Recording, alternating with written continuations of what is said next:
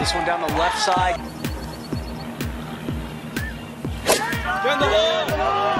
Right at the center. It's a route with driver. And this is the beauty. To get in the fairway, avoid those cross bunkers.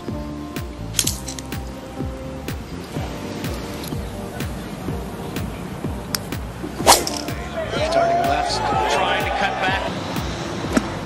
Sounded good. Lot of speed through that. That's how you draw them up.